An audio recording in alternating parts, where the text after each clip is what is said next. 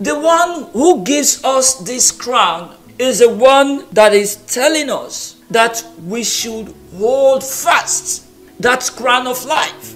Christianity is not a joke, but a lot of us do not have this understanding that we are soldiers of the cross. Matthew 11, verse 12. And from the days of John the Baptist until now, the kingdom of heaven suffered violence, and the violent take it by force. Are you joking with your Christianity or you are actually fighting? The kingdom of God suffered violence. These are the very words of Jesus Christ. Are you facing troubles? Are you facing problems? Are you among those who have given up? There is a crown of life that is awaiting us. James 1 verse 12. Blessed is the man that endureth temptation, for when he is tried, he shall receive the crown of life, which the Lord had promised to them that love him. Remember the danger of not fighting at all.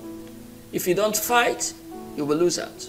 Don't sleep. Be sober. Be watchful. Because the devil, the adversary, is roaring, is seeking for someone to devour. Stand firm to the end so that no one takes your crown.